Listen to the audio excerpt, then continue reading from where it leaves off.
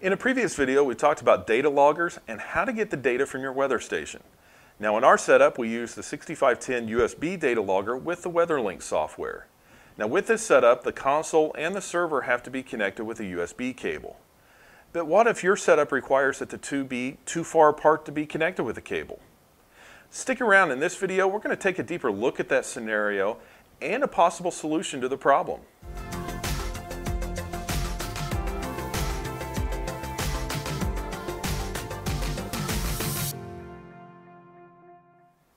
About a year ago when I was thinking of creating this channel, I really didn't have a good place to film the videos, but I realized I did have a good space above the garage to start with. I'd be able to use this space to create the YouTube videos, relocate some of the server equipment from the house, and I'd finally have a place to get serious about amateur radio. As you can see from the pictures, there was really nothing up here. It took over a year to make it into a usable space, and while it's still not quite finished, it's darn close. Now that little history lesson catches you up where we are today with the weather console in the house and the server out here in the garage. I ran into that same problem back in 2008 when I first got my weather station. The weather console was in one room and the server was in another, but it was still the same base problem. The two were way too far apart for a physical USB cable to work. So I did a little research and I came across this. It's a network USB hub from Belkin. Before we go any further, let me explain exactly what I mean when I say network USB hub. Now you may know this piece of equipment by a different name. I've seen them referred to by several names like USB over IP network hub or network attached USB hub or even USB device server. I guess the name just depends on the manufacturer. Whatever name you want to use, it is basically a piece of equipment that allows you to connect a USB device to a computer. But instead of the device being physically plugged in, it connects over the network. Now let's take a look at how this works. In this example, we have our weather station. Now the weather station broadcasts its data wirelessly, which is then picked up by our weather console. Now, as we mentioned earlier, you could just connect the console to your server with the USB cable, and life would be good. It's when the two are too far apart that this becomes a problem. That's where our network USB hub comes in. Now the weather console will connect to the hub with the provided USB cable. The hub will then connect to your network. After installing software on your computer, we can then virtually connect the console to the server. And now we can begin downloading observations from the console into WeatherLink. Now I'll show you exactly what this process looks like on my server a little bit later in the video. Now, I would have purchased this back in 2008, but for the life of me right now, I just can't remember exactly where. If I had to guess, given that it was 2008, my guess would be probably Newegg. Now, the price I remember pretty well. I think this ran around $120. Now, the Belkin F5L009 worked great for about nine years, running on Windows Server 2003 and even Server 2008 R2. On very rare occasions, though, the device would disconnect from the server. Now, to fix this, all I had to do was close the WeatherLink software, reconnect the console within the Belkin software, and fire WeatherLink back up. Now, a few times this would require an extra step. From WeatherLink, I would open the Setup menu, select Communications Port, and click Test. It would then find the station and everything would work. I never did have an explanation on why sometimes this was required, but it worked, so I just didn't argue with it.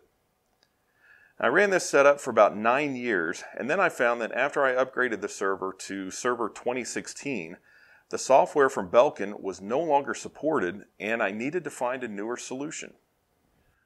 With the Belkin needing to be replaced, my research turned up this device from SIIG. Now the model number will be right up here. I struggled to find anything good to say about this unit. When I say the Belkin had disconnected on rare occasion, I think being disconnected was kind of a normal mode of operation for this guy.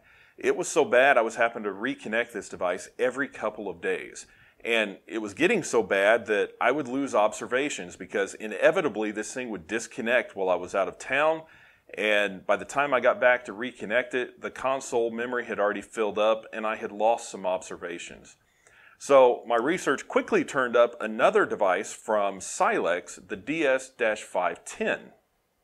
The DS510 is what I use in my environment today. Now, as I was scripting this video, I was trying to think of the times that this device is disconnected on me, and I couldn't come up with a single one.